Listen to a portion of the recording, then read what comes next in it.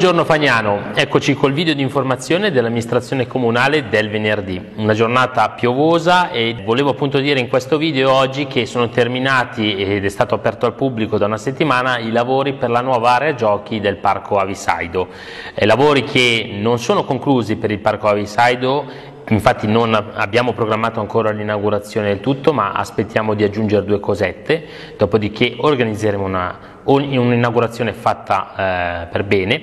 E mi auguro che venga utilizzata nel migliore dei modi come tutte le aree giochi del paese, sperando che non si debba andare poi ad aggiustare dove vengono fatti alcuni danni. Quindi attenzione da parte di tutti i cittadini, attenzione da parte di tutti coloro che ne usufruiscono e ci auguriamo che questa nuova area giochi sia ben apprezzata, ben apprezzata dai bambini di Fagnano. Notizia che non è notizia perché il 18 di questo mese ha aperto la posta dopo eh, vari rimandi per lavori, per problemi tecnici, finalmente Fagnano è tornato a funzionare il suo ufficio postale.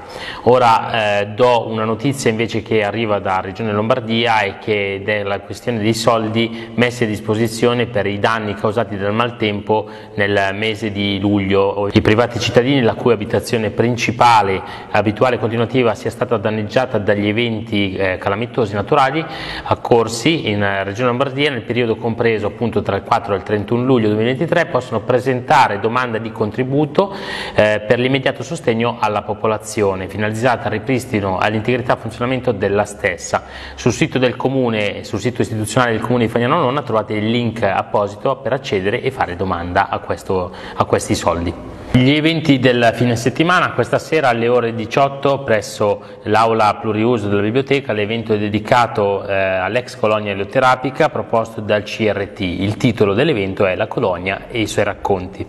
Sabato eh, alle ore 18, sempre nella sala pluriuso della biblioteca, prosegue la rassegna Il caffè con l'autore in compagnia di Franco Cavalieri e del suo romanzo E il giorno si fece polvere. Mentre domenica eh, faccio un invito per un evento che avviene fuori dal nostro territorio in Solbiate Lona presso il centro culturale L'Auditorium di Solbiate alle ore 15 la proiezione del documentario di Filippo D'Angelo sul cotonificio di Solbiate. Non mi resta altro da aggiungere, vi auguro un buon fine settimana, un buon inizio di settimana nuova e al prossimo video. Grazie a tutti.